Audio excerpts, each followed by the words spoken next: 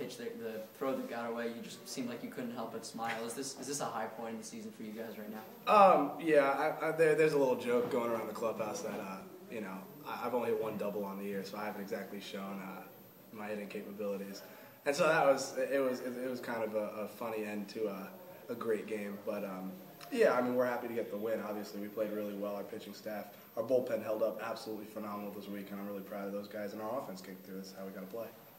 Seems like your guys' confidence is at an all-time high, and you guys seem to just be playing, you know, every pitch like you know it's really important. You know, in the ninth inning, you tacked on what six runs.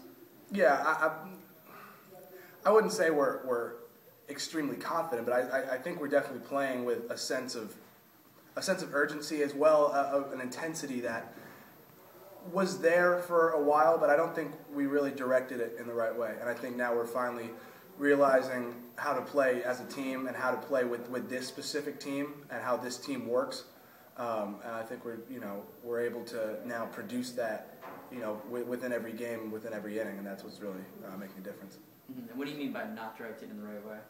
Um, I think we're just all learning to play with each other to be honest. I think we're all, you know, there. Obviously, it's been well documented. There are a lot of new guys on this team. There are a lot of different guys assuming different roles, and I think we're kind of learning how each other work.